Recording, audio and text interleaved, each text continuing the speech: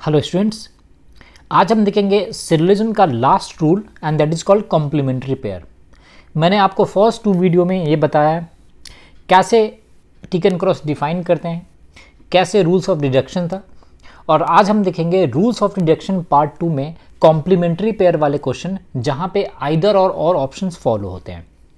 So let's start with the complementary pair देखो, इसमें statement क्या करा है बच्चे? When there is no definite conclusion is drawn from the given statement, then conclusion given in the option forms a pair of statement which are complementary to each other. That is, only one of the statement will be true at one point of time. देखो इसका क्या मतलब है complementary pair का मतलब होता है कि वन एट ए टाइम देखो जब कभी भी स्टेटमेंट जो गिवन है क्वेश्चन में उसके बेसिस पे अगर आप कोई डेफिनेट कंक्लूजन नहीं ड्रॉ कर पा रहे हो तो सीधे स्विच कर जाओ ऑप्शंस पे। और ऑप्शंस में कुछ ऐसे पेयर्स मिलेंगे जो आपस में कॉम्प्लीमेंट्री होंगे। और मैक्सिमम टाइम ये वाले पेयर्स होते हैं जो कॉम्प्लीमेंट्री पेयर क्रिएट करते हैं। जैसे ए और ओ टाइप मिलकर कॉम्प्लीमेंट्री पेयर बनाते हैं आई और ओ और आई और ई e. ये थ्री पेयर्स आपको कॉम्प्लीमेंट्री पेयर बनाएँगे और ये आपको कहाँ मिलेंगे? ऑप्शंस में मिलेंगे। जब कोई भी डेफिनेट कंक्लूजन आप ड्रॉ नहीं कर पा रहे हो। इसको हम एक एग्ज़ाम्पल के थ्रू और डिटेल में एलोबरेट करते हैं। तो मान लो, एक क्वेश्चन ये है बच्चों। यहाँ पे स्टेटमेंट क्या गिवन है? Some sweets are chocolate some chocolates are mints some mints are food and सब फ़ूड इज़ डाइट आपको याद हो, मैंने आपको पूरे डिटेल में बताया था टिकन क्रॉस मेथड तो यहाँ पे सारे स्टेटमेंट सम वाले हैं। तो ऑब्वियस सी बात है, सभी टर्म पे क्या आएगा? क्रॉस आएगा।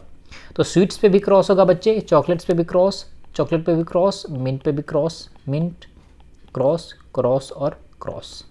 मैंने आपको रूल्स बताया था कि अगर सारे स्टेटमेंट पर्टिकुलर है तो आंसर भी कैसा होगा? पर्टिकुलर होगा। और पॉजिटिव स्टेटमेंट है तो आंसर भी पॉजिटिव। तो अगर आप ध्यान से देखोगे उस रूल्स का तो ऑप्शन नंबर वन और टू तो क्लियरली संभव नहीं है।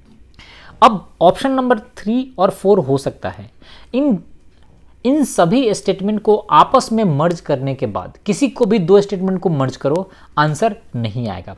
तो हम ये चेक कर लेते हैं कि क्या थ्री और फोर किसी स्टेटमेंट का रिवर्स स्टेटमेंट तो नहीं है? तो यहाँ पे टर्म है स्वीट्स और यहाँ पे टर्म है डाइट तो स्वीट्स और डाइट किसी एक टर्म में स्टेटमेंट में आया ही नहीं है। अगर यहाँ पे स्वीट्स है तो ऑब्वियस ये बात है डाइट फोर्थ में है। तो वन और फोर्थ को तो हम मिलाकर कभी आंसर निकाल ही नहीं सकते। तो हम ये भी बोल सकते हैं कि थर्ड वाला भी वैलिड नहीं है। अगर हम फोर्थ कंक्लूजन की बात करें तो यहाँ पे बच्चे टर्म है स्वीट्स और फ़ूड। स्वीट्स किसमें आता फ़र्स्ट वाले में। और फ़ूड किसमें है बच्चों? थर्ड में। फ़र्स्ट और थर्ड को कंबाइंड करोगे तो सारे टर्म पे क्रॉस मार्क्स है। और वैसे भी फोर टर्म्स है तो इन दोनों को मिलाकर भी आंसर नहीं आएगा। और ये भी रिवर्स स्टेटमेंट नहीं है। तो ये भी संभव नहीं है। लेकिन कॉम्प्लीमेंट्री पेयर का कॉन्सेप्ट क्या कहता है बच्चे? कि अगर स्टेटमेंट के थ्रू अगर कोई भी डेफिनेट कंक्लूजन नहीं आ रहा है तो आप सीधे जंप कर जाओ ऑप्शन पे। अगर आप ऑप्शन देखोगे फ़र्स्ट और थर्ड को नो स्वीट्स आर डाइट और सम स्वीट्स आर डाइट अगर इन दोनों स्टेटमेंट को देखोगे बच्चे तो ये एक टाइम पे कोई एक ही स्टेटमेंट फॉलो हो सकता है। अगर आप थोड़ा सा लिटिल बिट वेन डायग्राम का यूज़ करो लिटिल बिट हेल्प समझने के लिए तो अगर देखोगे यहाँ पे स्वीट्स को बनाओगे ऐसे और डाइट्स को बनाओगे ऐसे, ये था, ये दोनों क्या होंगे अलग अलग और सम स्वीट्स आर डाइट बनाओगे तो या तो इंटरफेरेंस होगा, या कुछ और होगा।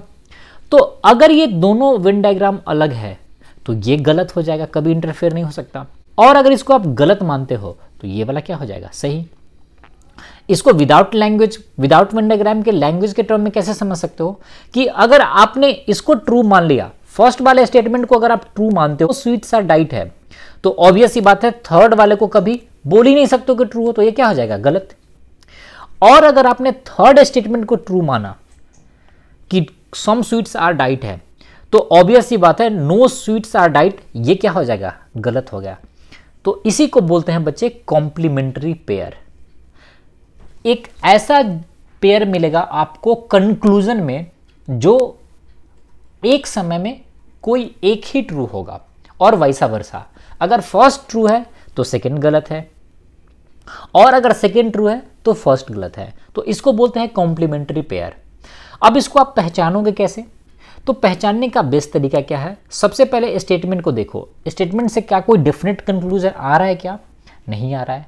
अगर डेफिनेट कंक्लूजन नहीं आ रहा है तो सबसे पहले सीधे जंप कर जाओ कंक्लूजन में। और कंक्लूजन में ये देखो कि कोई भी पेयर है क्या इस तरह का? ए ओ आई ओ और आई ई e। ये है क्या? अगर इस तरह का पेयर इन्वॉल्व है तो कहीं ना कहीं ये कॉम्प्लीमेंट्री पेयर वाला केस बनाएगा। जैसे फ़र्स्ट स्टेटमेंट कैसा था? नो स्वीट्स आर डाइट तो ये कैसा स्टेटमेंट था बच्चे? ई e टाइप था। बोलो हाँ या ना? और थर्ड स्टेटमेंट देखोगे तो क्या है? सम स्वीट्स आर डाइट तो ये कैसा है? आई टाइप तो आई और ई e मिलकर हमेशा क्या देते हैं? कॉम्प्लीमेंट्री पेयर देते हैं। तो ये बहुत ही इंपॉर्टेंट है। ये थ्री में से ध्यान देने की कोशिश करो कि ये है क्या? कंक्लूजन में। स्टेटमेंट में नहीं कंक्लूजन में देखना है। मैंने फाइव स्टार इसलिए बनाया कि ये बहुत इंपॉर्टेंट है। आप इससे क्विकली जज कर पाओगे कि ये कॉम्प्लीमेंट्री पेयर बनाएगा या नहीं बनाएगा। एक और भी इंपॉर्टेंट पॉइंट है कि कॉम्प्लीमेंट्री पेयर सेम टर्म होगा। जैसे इसका क्या मतलब है कि स्वीट्स है और डाइट था तो ऑब्वियस ही बात है जो कॉम्प्लीमेंट्री पेयर बनेगा, उसमें भी सेम ही टर्म होना चाहिए, स्वीट्स और डाइट। अगर आप डिफरेंट टर्म लोगे तो ये कॉम्प्लीमेंट्री पेयर नहीं बनाएगा। तो बच्चों, जब कभी भी आपको कॉम्प्लीमेंट्री पेयर के केस को डिस्कस करना है तो आपको दो चीज़ का ध्यान रखना है। वो क्या? सबसे पहले स्टेटमेंट को देखो। स्टेटमेंट से अगर कोई डेफिनेट कंक्लूजन नहीं आ रहा है डेफिनेट कंक्लूजन नहीं आ रहा है तो सीधे जंप करोगे कहाँ पे? जो कंक्लूजन गिवन है। कंक्लूजन गिवन पे जाओगे। और वहाँ पे जो भी केसेस आ रहा है, जो pair of statement complementary pair बनाना है ए ओ आई ओ और आई ई टाइप से, उसको देखोगे कि क्या इस तीनों में से कोई पेयर बन रहा है क्या? इसको दिखने के लिए सबसे इंपॉर्टेंट पॉइंट क्या है? कि ये जो दो स्टेटमेंट होगा, वो सेम टर्मिनोलॉजी पे होगा। डिफरेंट डिफरेंट टर्म्स पे नहीं होगा। So this is the case of complimentary pair इस वीडियो में बच्चे, मैंने आपको रूल्स डिस्कस कराए। नेक्स्ट वीडियो में मैं सेलुलिज्म के बहुत सारे क्वेश्चन लेकर आऊँगा, जहाँ पे आपको इजी से लेकर डिफ़िकल्ट क्वेश्चन तक होंगे। So thanks for watching the video if you like my video please like share and subscribe my channel and also share with your friends and family thanks for watching the video